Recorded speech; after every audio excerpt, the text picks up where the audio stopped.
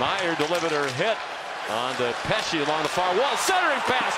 Staal. stop twice at point blank range by Vanecek.